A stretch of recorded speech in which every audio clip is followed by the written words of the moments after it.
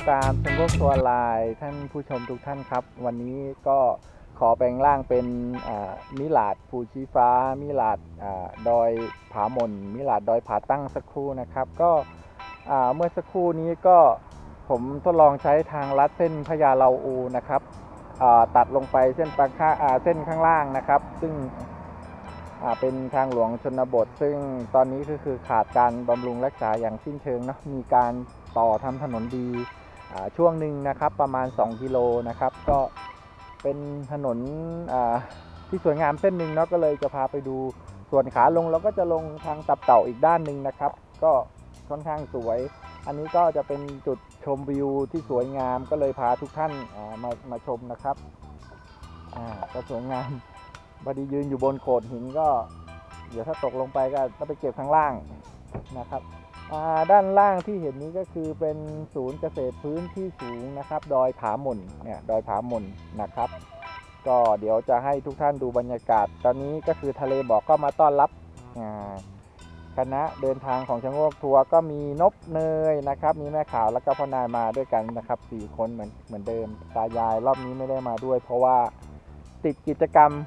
ปีใหม่สงการนะครับ ก็พาทุกท่านมาดู ตอนนี้คือได้ได้ฝนเนาะพอได้ฝนเสร็จปั๊บก็จะเขียวจะอุ่มเลย แล้วก็ช่วงนี้อ่าเป็นช่วงฝนเนาะจะบอกฤดูฝนก็ไม่ใช่ เป็นช่วงฝนตกติดต่อกันยาวนาน ก็จะเห็นทะเลหมอกทั้งวันอ่าเดี๋ยวจะได้เห็นหมอกก็จะวิ่งมาชนภูเขาให้เราได้เห็นเนาะโอเคนู่นไอ้เจ้าตัวน้อยนั่งอยู่บนรถ ก็บ่นเล็กน้อยวันนี้ทำไมพามาโค้งอีกแล้วเนี่ยคุณแม่ก็กำลังถ่ายรูปเดี๋ยวจะพาทุกท่าน ดูวิวนะครับ 360 องศาอาของภูชีฟ้า จุดที่ผมยืนนี้คืออตำบลตับเต่านะครับอำเภอเทิง จังหวัดเชียงรายเนาะดูวิว นี่ไหมครับคุณผู้ชม ก็จะเห็นหมอกอลอยมาชนภูเขาเนี่ย แล้วก็เขาก็กระจายให้เห็นสวยงามครับ อืม ก็ถ้าเอารถเล็กมาต้องเข้าใจรถด้วยนะครับ ดูไอดูทิศทางของล่องนะครับ หินก็คมด้วย ถ้าจะเลี้ยวจะโค้งก็อยากให้มันเป็น 45 องศาระหว่างบิดพวงมาลัยนะครับให้เป็น 60 ขึ้นมันก็จะไม่แตกเพราะเมื่อวานก็ออย่างที่บอกก็เห็นวีโก้เจอขอบถนนนะครับ ขอบหลุมแตกไปหนึ่งแล้วก็แม็กดุ้งเลยนะครับอ่าโอเค ท่านผู้ชมนะคะมาผ่านเส้นทางบ้านตังค่าฮารุโหดมากและพยาลาอูซึ่งโหดร้ายนิดหน่อยสำหรับน้องลำรวยของเราเนาะแต่จริงๆแล้วเส้นเส้นทางนี้จะเป็นเส้นทางหลักตั้งแต่แรกเริ่มที่เขาเจอภูชีฟ้าเลยจะต้องขึ้นทางนี้เป็นหลักเลยเนาะซึ่งมีประมาณ 20 กว่าปีมาแล้ว ตั้งแต่สมัยเราเป็นแฟนกันโอ้นานมากมาก่อนหเที่ยวน้าเชียงนั้นรายอ่าเพราะว่าสาวเนี่ยจะขึ้นมา ที่นี่ตั้งแต่เขาเริ่มเจอปีแรก ๆเลยนะคะโดยเมื่อก่อนก็โบกรถขึ้นมาเนาะแล้วหลังจากนั้นในเส้นทางนี้เขาก็ไม่ได้ใช้ละเขาก็มีการปรับปรุงแค่บางช่วงที่มีขีดชุมชนเท่านั้นเนาะแล้วเขาก็มีเส้นทางที่ตัดใหม่ที่จะมาโผล่ตรงตรงตรงแยกตรงแยกขึ้นภูชีฟ้าจริงๆตรงนั้นอะซึ่งเส้นทางนั้นอะจะโค้งไม่มาก แล้วก็จะขึ้นเรื่อยๆนะจะขึ้นมาเรื่อยๆ ก็ขับสบายๆก็จะมีทางชันนิดหน่อยก่อนที่จะขึ้นถึงเส้นทางภู นิดเดียวอ่าแล้วเรื่องวิวสู้ฝั่งนี้ได้ไหมก็วิวฝั่งไหนสวยกว่าถ้าขึ้นอ่าฝั่งไหนถ้าถ้าขึ้นก็วิวก็ทางคนนี้ละแหละอย่างวิวถ้าวิวฝั่งทางนู้นเนี่ยจะเห็นเป็นทุ่งนาสองข้างอืจะมเป็นทุ่งนาแล้วก็อาจป่าจะชอบก็จะสวยอีกแบบหนึ่งถ้าฝั่งนี้ก็จะเห็นแบบที่ท่านเห็นนี่แหละใช่ตลอดทางทางสวยมาทางนี้ก็จะลุ้นนิดนึงนะว่าอืมอุ๊ยรถจะไปได้ไหมได้ไหมก็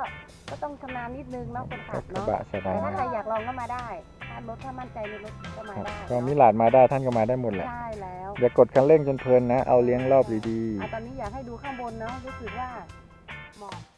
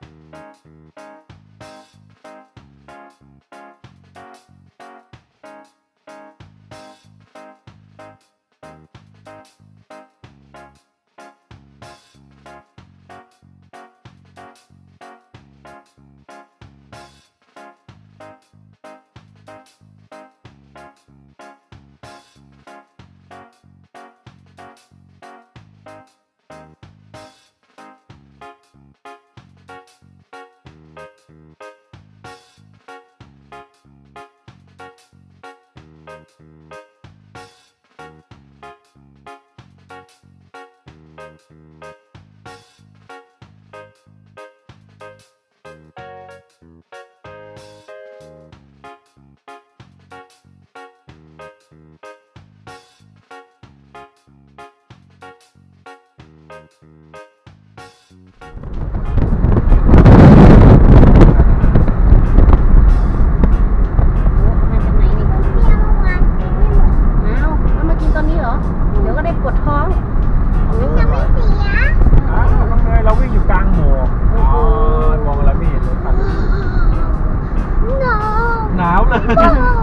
หน